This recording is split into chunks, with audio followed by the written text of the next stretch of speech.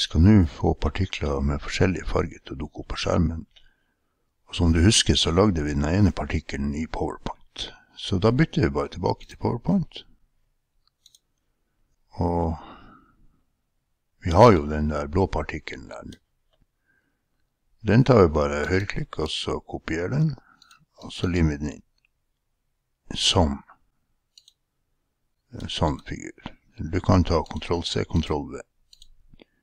Så da har vi to blå partikler der. Vi skal ikke ha den her til å bli blå, så vi går på fargene her, og så velger vi en rød farge her. Figuren ble litt ødelagt, men, men der kan du trykke på, strøk slett. Så lar vi den der. Den var litt i blåeste laget, så jeg går på flere farger, og så går jeg på en lys rød farge. Da blir den ikke så verst. Så kan jeg legge til en tilgraderingstopp der, sånn at den blir litt mørkere. Og da har vi en rød partikkel. Men vi gir oss ikke, vi lager en til partikkel, som skal være grønn. Det er ganske greit når du først kommer i gang her. Vi ser flere farger, og så tar vi en lysegrønn her. Sånn, og så tar vi Ctrl V, får vi en ny blå, og så skal vi ha den oransje. Eller sånn gul-oransje, da. Det var ikke den der Ok.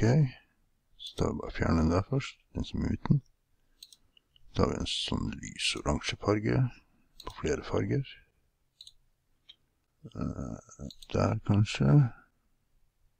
Så går på egendefinert og gjør den litt lysere igjen. Ok. Den var nesten litt for gjennomsiktig, så jeg går der borte, og så drar jeg den litt opp så den blir litt. Så må vi lagre de der tre som bilder. Da har den høyreklikk, og så lagre som bilde. Partikkel rod. Vi kaller den for partikkel lage som bilde. Og det grunn.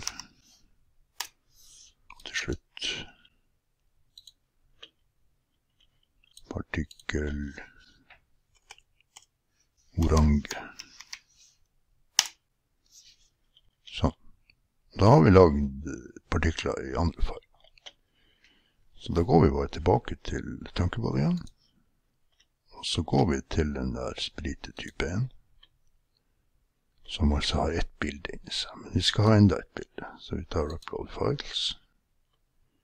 Vi ned til der det står partikkel, og vi har den blå, så vi trenger den grønne.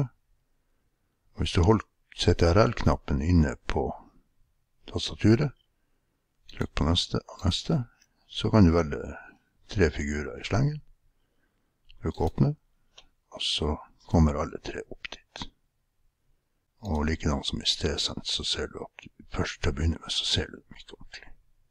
Men det du også må huske på, det er at hver av dem har et nummer. Så den er nummer én, den er nummer to, den er nummer tre, og den er nummer fire. Så hvis vi nå skal lage partikler i forskjellige farger eh, når de dukker opp, så må vi gjøre enda litt programmering. Og det er siste bit med programmering som vi skal gjøre i denne виделся.